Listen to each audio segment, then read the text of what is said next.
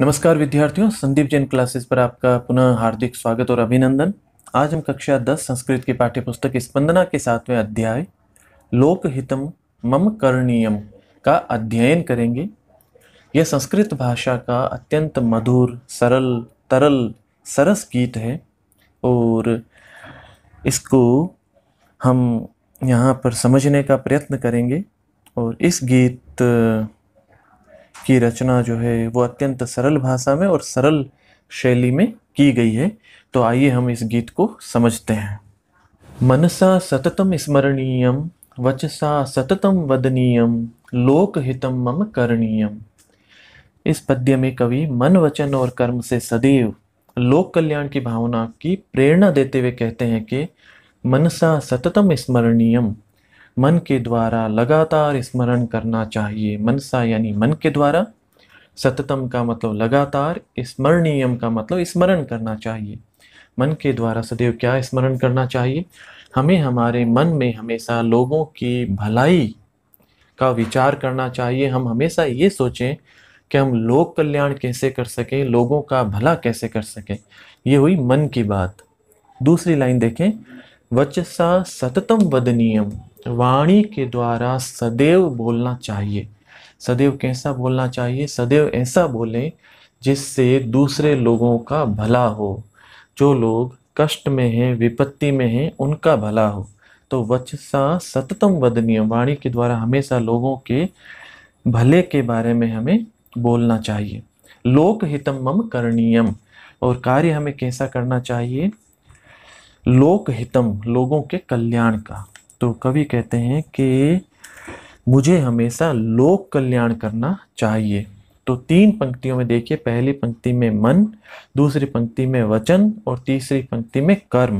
मन, वचन और कर्म से मैं लोगों के कल्याण के बारे में ही विचार करूँ, बोलूँ और कार्य करूँ। यह प्रथम पद्य में कवि कहना चाहते हैं। न भोग भवने रमणीयम, न च सुख शयने शयनीयम अहर्निशम जागरणीयम लोकहितम मम करणीयम। इस पद्य में कवि जो हैं, वो कहना चाहते हैं कि मैं अपने सुखों में ही संलग्न न रहूँ और जागृत रहते हुए लोगों का कल्याण करूँ। प्रथम पंक्ति से देखिए, न भोग भवने रमणीयम। भोग भवन यानी ऐसा भवन जिसमें मैं सुखों में संलग्न रहूँ, भोगों के भवन में, यानी इस भौतिक संसार में। मुझे इस भौतिक संसार में अपने ही सुखों में रमण न करते रहना चाहिए, यानी मैं अपने सुखों में ही संलग्न न रहूँ। न च सुख शयने शयनियम, और मैं अपने सुख की सैया पर शयन न करता रह जाऊँ। यानी मैं लोगों के दुखों की परवाह न करते हुए अपने सुख में ही डूबा रहूँ, अपने सुख की निद्रा में ही शयन करता रहूँ, ऐसा नहीं करना चाहिए। अहर निशम जागरणीयम। अहर निशम का मतलब होता है दिन रात। जागरणीयम, जागृत रहूँ, जागता रहूँ, सावचेत रहूँ। यानी मुझे दिन रात सावचेत रहना चाहिए, जागृत रहना चाहिए। यहाँ जागरण नियम का कहने का मतलब है कि हमें अपने आसपास की परिस्थिति को ध्यान रखना चाहिए, सावधान रहना चाहिए, सचेत रहना चाहिए और सचेत रहते हुए हमें लोगों के कल्याण का कार्य करना चाहिए। लोक हितम करणीयम।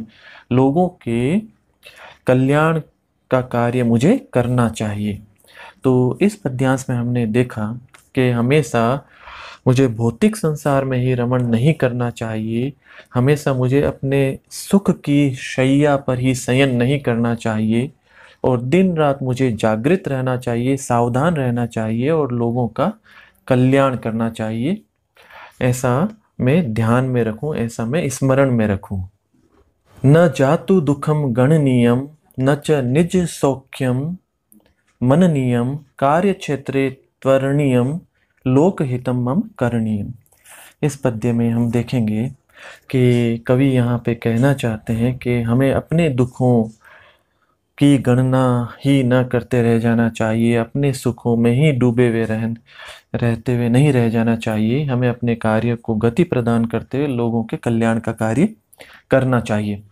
तो न जातु दुखम गणनियम, जातु का मतलब कभी भी। दुखम गणनियम गणनियम का मतलब गणना करनी चाहिए।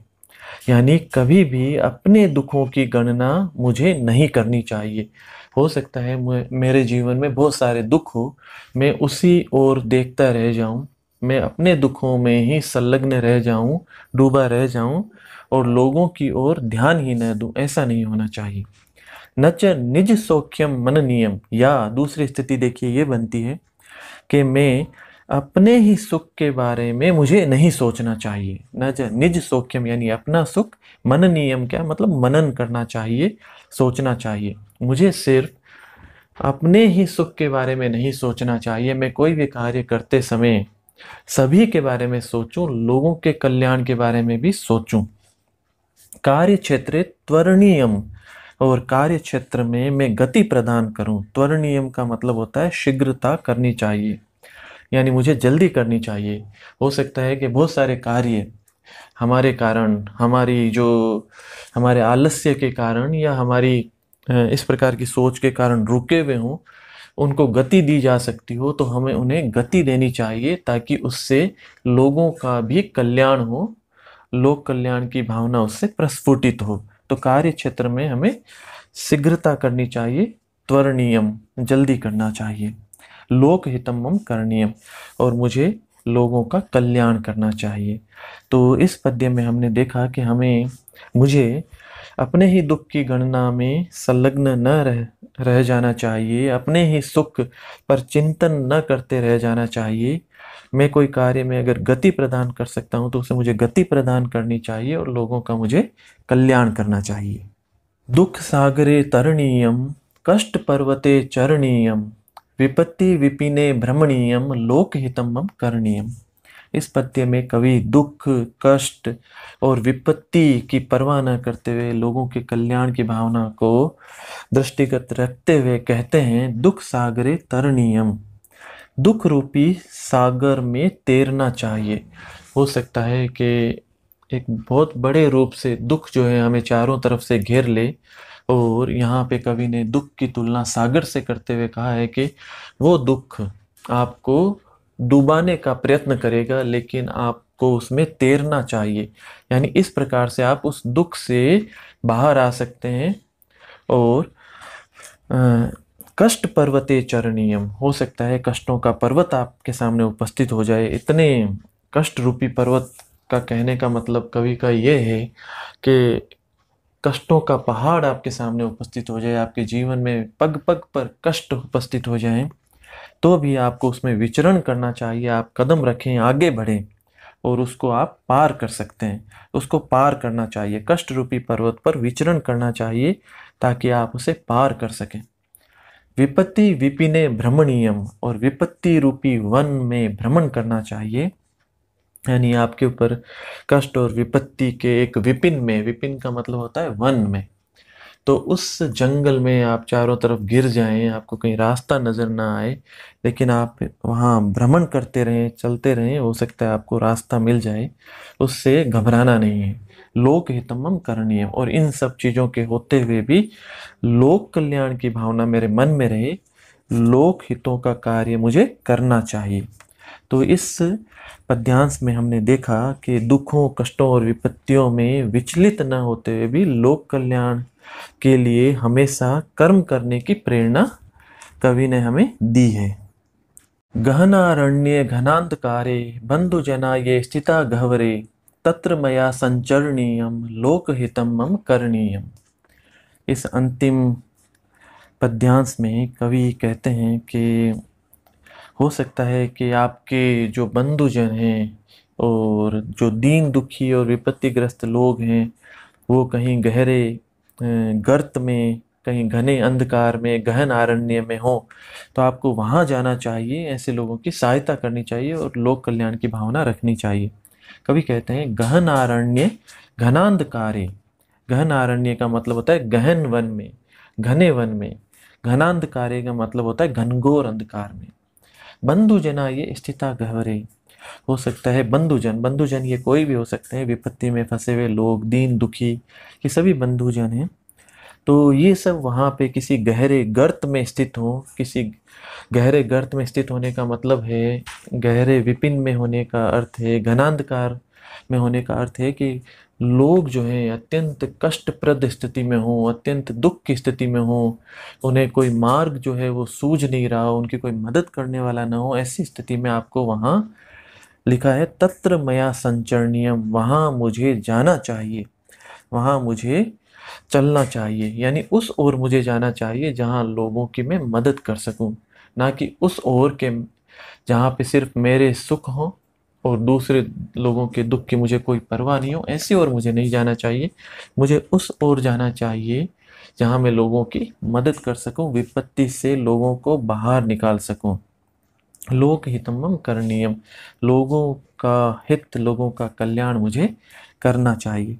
तो इस अंतिम पद्य में हमने देखा कि कवि कहते हैं कि जो हमारे बंधु लोग हैं, कोई भी लोग हैं, वो चाहे विपत्ति में फंसे हुए, दीन दुखी लोग हैं वो हो सकता है गहरे वन में, घनघोर अंधकार में किसी गर्त में फंस गए हो, किसी कठिन स्थिति में वो लोग वहाँ फंसे हुए हों, कष्ट में हो, परेशानी में हो तो वहाँ मुझे जाना चाहिए।